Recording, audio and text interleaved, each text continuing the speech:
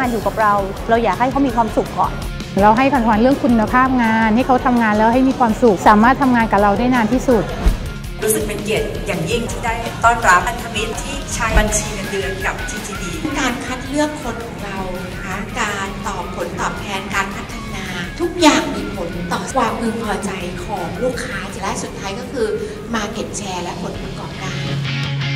ได้ไอเดียเลยนะคะ ว่าเราจะกลับไปทำ engagement ของพนักงานกับองค์กรของเรา ได้ทราบถึงปัจจุบันเนี่ยเรามีการแบ่งในเรื่องของ level engagement ให้พนักงานอย่างไรบ้างเราได้ในเรื่องของ team spirit แล้วก็ในเรื่องของ motivation ซึ่งมันดีมาก ๆ นะคะ เราสามารถที่จะคีปคนที่มีคุณภาพอ่ามีประสิทธิภาพในการทำงาน ให้อยู่กับองค์กรได้นานยิ่งขึ้น เราส่งเสริมให้เขารวบหนี้มาในดอกเบี้ยที่ถูกกว่าเยอะ ลดต้นลดดอกผ่อนหนี้หมดได้เร็ว เพราะนี่คือ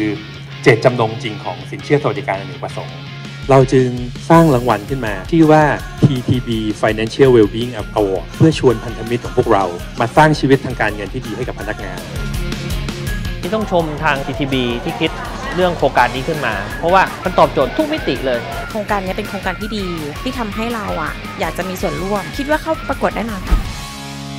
ให้ชีวิตการเงินดีทั้งวันนี้และอนาคต TTB เปลี่ยนเพื่อให้ชีวิตคุณดีขึ้น